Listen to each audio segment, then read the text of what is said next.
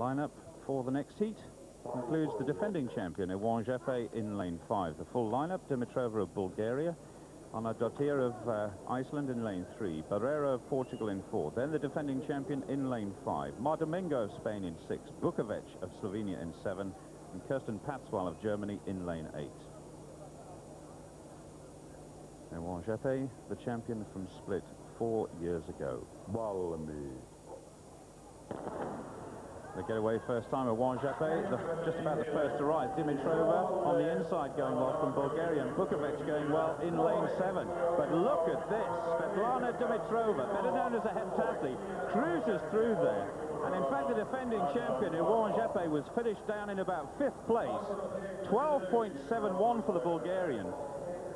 Well, there's the result of the second heat of this first round of the women's 100-metre hurdles. Dimitrova, 12.72. Uh, Bukovec of Slovenia, 12.96. Patzwahl did get the third place, 13.21.